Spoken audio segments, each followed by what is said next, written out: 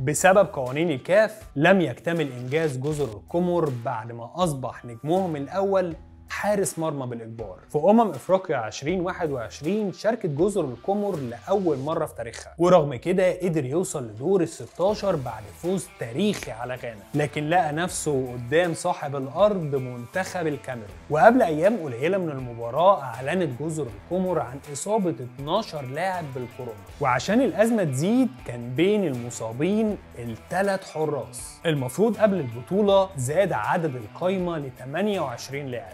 منتخب ضم أربع حراس تحسبا لأي ظرف طارئ. لكن جزر القمر ما عملوش حساب اليوم ده. في حارس اتحولت عينته لسلبية قبل يوم من المباراة. لكن لوائح الكاف كانت بتقول إن اللاعب لازم عينته تكون سلبية قبل المباراة بخمس أيام على الأقل عشان يقدر يشارك. لاعب الظهير الأيسر شاكر الهدهور واللي يعتبر واحد من نجوم الفريق كحارس مرمى قدام الكاميرون في المباراة اللي خسروها 2-1 وقال عن تجربته إنه ما حاولش يلعب كحارس بقدر إنه يلعب كمدافع خامس. وبعدها ضحك وقال أنا مش عايز ألعب كحارس أنا عايز أرجع لمركزي كمدافع.